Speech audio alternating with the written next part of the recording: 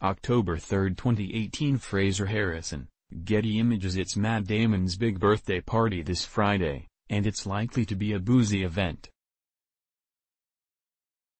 It'll be in Las Vegas, and people are looking forward to it. However, some are thinking that it might not be as fun if Ben Affleck shows up.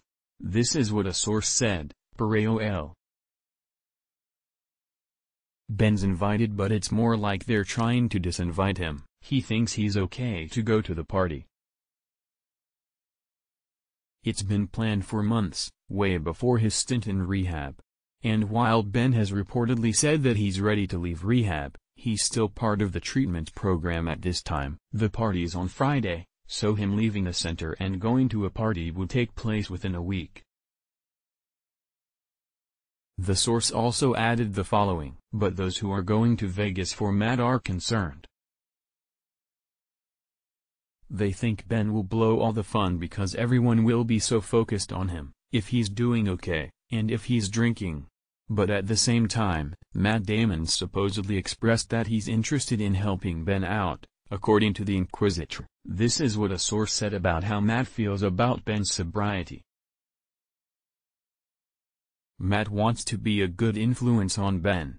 Ben's team, his closest friends and family truly support their friendship. They want them to hang out more, which in turn could help keep him away from the crowd that doesn't support his sober lifestyle.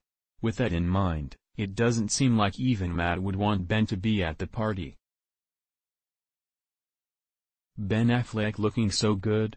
pic.twitter.com slash Sergio L at Sergio October 2, 2018 For now, it's hard to know what Ben will decide to do.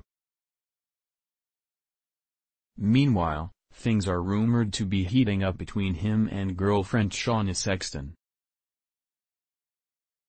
Even though the two have hardly had any time to spend together outside of his rehab stint, some people already believe that there's a proposal in the future, according to Radar Online. Ben Affleck and Matt Damon at the Oscar ceremony. pic.twitter.com slash videogatetab1, History Lovers Club, at History Club, September 30, 2018 This would be a huge deal to all of the exes in Ben's life. For example, it would mean that ex-Jennifer Garner would now have a stepmom in the picture for the three kids that she had with Ben. And for Lindsay Shookus, who reportedly wanted to get back together with Affleck in the future, such a hope would certainly be crushed. Even more so, Shauna's love for partying and drinking would further make a proposal controversial. However at this point, it's all just speculation. We'll find out soon enough if Ben really does go to Vegas this week, and what that could possibly mean for his sobriety.